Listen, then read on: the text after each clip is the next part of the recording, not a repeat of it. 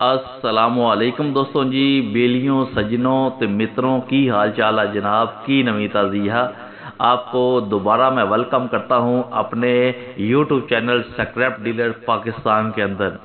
آج آپ کے ساتھ کاپڑ کے ریلیٹڈ جو انفارمیشن ہے وہ میں شیئر کرنے لگا ہوں۔ ایک بات ہمیشہ کے لیے ذہن کے اندر بٹھا کر رکھ لیں کہ کاپڑ کی جو آپ لوگ کہہ لیں پرائس آتی ہے وہ انٹرنیشنل جو منڈی ہے کاپڑ کی، اس کے ساتھ منسلک ہوتی ہے۔